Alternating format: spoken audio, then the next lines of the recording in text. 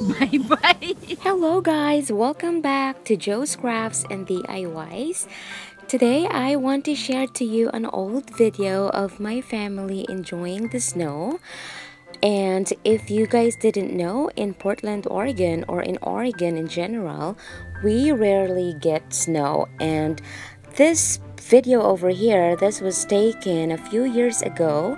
I think this was the winter of 2016-2017 when nobody really expected this much snow. I think this year's winter was one of the top snowiest season of Oregon. So, you know, just like any Oregonians, we were so excited to go outside and just enjoy the snow.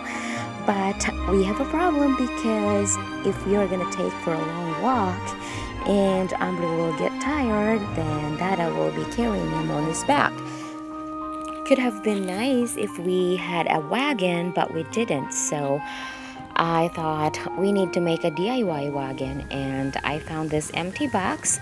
We put a strap and voila, we have a wagon.